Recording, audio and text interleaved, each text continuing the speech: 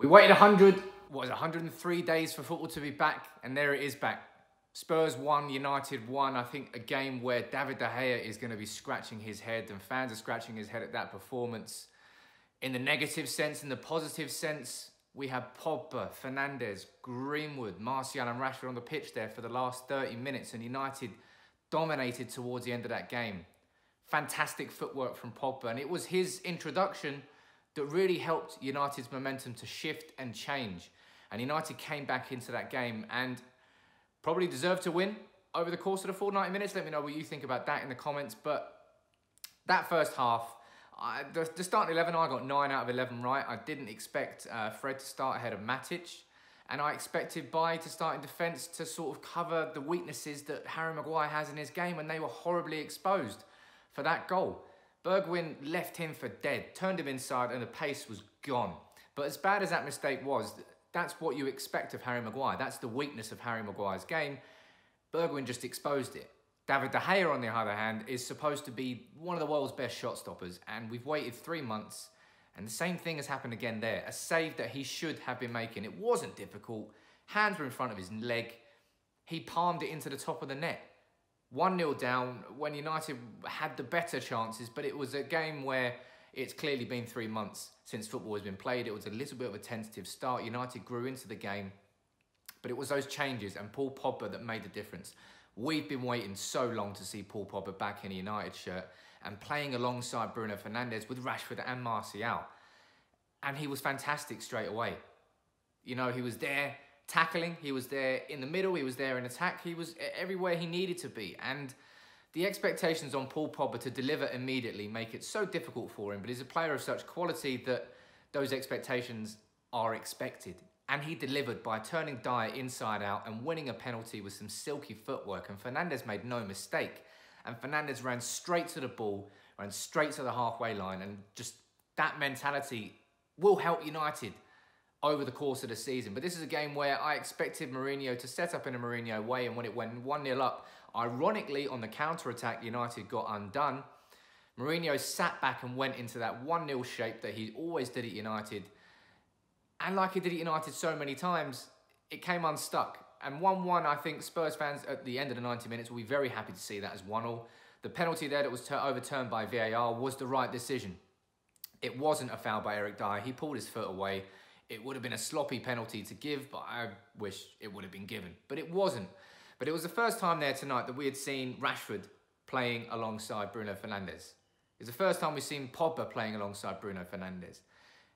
That point there, in that front five, and we had Pogba with Fernandes and a front three of Rashford, Martial and Greenwood, that's got to be, I think, what United are aiming towards for the rest of this season when we can get everybody playing together, it was obvious that there was some sloppy mistakes in there. I thought Scott McTominay, on the opposite, I don't know why I led with sloppy mistakes and Scott McTominay because I thought he actually played quite well. McTominay there keeping Matic out of the game. Very surprised about that. I got that wrong, but McTominay proved his worth. Fred was annoyed when Pogba came on for him, but that's what's going to be happening now, Fred.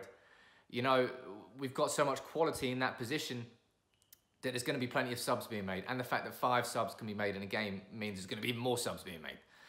But United, uh, it's really annoying to see that mistake from De Gea straight away. Again, a, a, a, player that has been so reliable for so many years that he gains so much grace that you can't really say a bad word against him. But I'm sorry, with Dean Henderson, was it a few nights ago, keeping another clean sheet, I think he's on for Golden Gloves this season.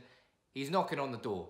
We've got a player right there who's dying to play for Manchester United, who came through the academy system and clearly is growing into a world-class goalkeeper. And on the other hand, we've got David De Gea, who right now looks past his best at United. And the same mistakes keep repeating themselves. And there's only so far that good grace will go with Dean Henderson knocking on the door. So David De Gea has got to sort that out. Harry Maguire, that is his weakness. I'm not going to have a massive go at him for that. I thought Luke Shaw, a left back, left a lot to be desired in terms of his positioning today. The ball was played in behind him so often that Harry Maguire was dragged over to cover that space, and then the weaknesses were there to run back inside him. But today you saw why I put Eric Bailly in my predicted 11. I don't think Lindelof and Maguire will work in the long term as the centre-back partnership. It's just too slow. You need the physicality and the athleticism that Eric Bailly provides with the recoveries to cover the problems that Harry Maguire brings with the slowness to his game. But United there, one all. Would I have taken that going into the game? Probably. It's the first game back. I wasn't expecting everyone to pull up trees. I wanted to see what Pogba Fernandes could do together, and we did. I think it's exciting to see and feel what could happen there going forward. But football is back. Rashford is back fit. Pogba's back in the team. Fernandes getting another goal.